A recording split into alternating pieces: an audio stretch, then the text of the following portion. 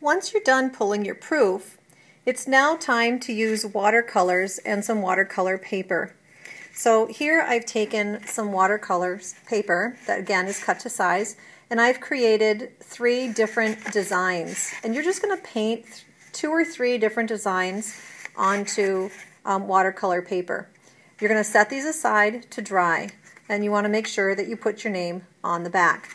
Now this one happened to be, I happened to find um, recently in the trash. Somebody had thrown it away and I actually think it's really cool. So I'm going to use this one. This is Osvaldo's. Some of you may remember him. Um, but he threw this away and I think it's really cool. So I'm actually going to use it to print on and we'll see how it turns out.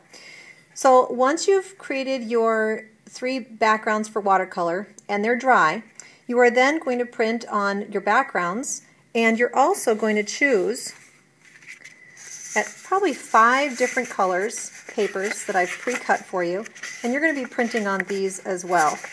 But we're going to start with the watercolor. And I'm only going to do the watercolor and then I will show you what will happen from there. So back to my plate which already has ink from on it from when I pulled my proof. I'm going to go ahead and I'm going to re-ink I'm going to add some, some more ink to this.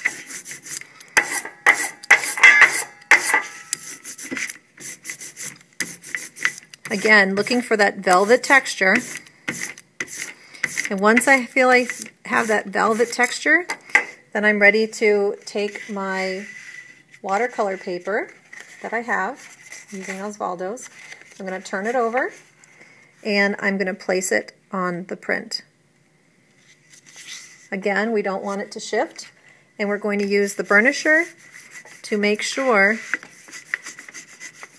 that everything is transferred nicely.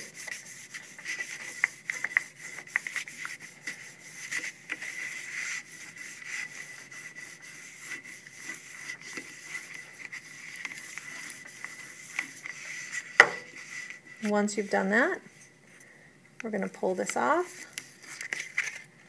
And now you can see there's my print on that fun background. Isn't that cool? Now once you've printed here, you're then going to go and you are going to do the same thing for each of your papers. So again, I'm going to ink this plate up. And it looks like I need to add some more ink to my plate.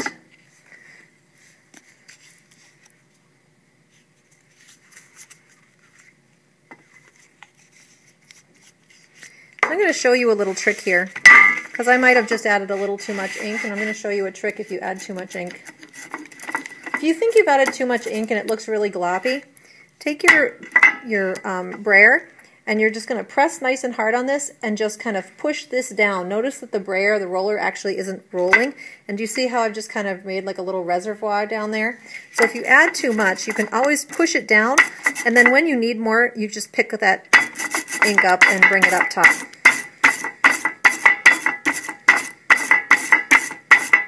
Much better.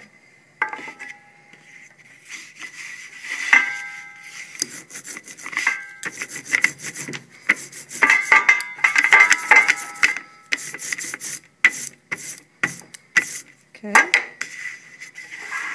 So again, here's my paper. Again, you want to put your name on this. Now, um, some students have a really smart idea, and they put their name on all of their papers before they even start printing, so they don't have to worry about um, remembering to do that. So that might be something you might want to consider. So again, I'm going to put this down. Use my burnisher.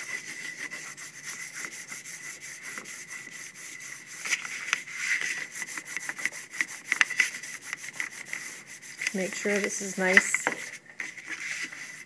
flat on here. Transfer of ink.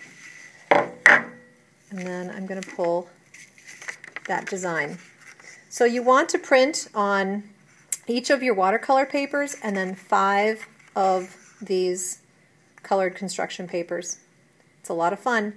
Again, don't forget your name on the back. And as soon as you're done printing, it should go over on the drying rack to dry.